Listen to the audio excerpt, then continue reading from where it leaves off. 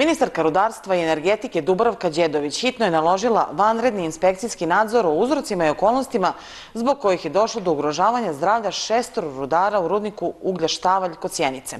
Saopšteno je danas nakon informacije da su se Sjeničkom domu zdravlja javila šestorica rudara sa simptomima trovanja gasom. Trojica od njih su prebačena u opštu bolnicu u Užicu i stabilnog su zdravstvenog stanja.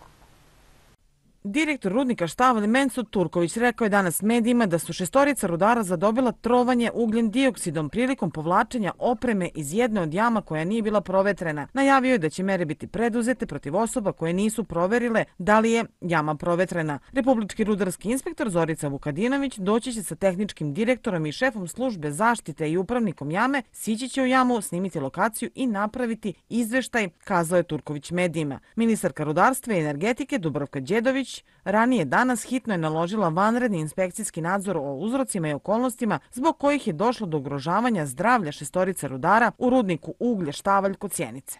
Podsjetimo, u Sjenički dom zdravlja jutro su se javila šestorica rudara sa simptomima trovanja gasom. Direktor te zdravstvene ustanove Altan Hamidović rekao je da su trojica rudara nakon ukazane pomoći puštena na kućno lečenje. Ostali su upućeni u opštu bolnicu u Užicu, od kojih je jedan u teškom zdravstvenom stanju. Sumnja se da su se otrovali ugljen monoksidom, izjavio je Hamidović.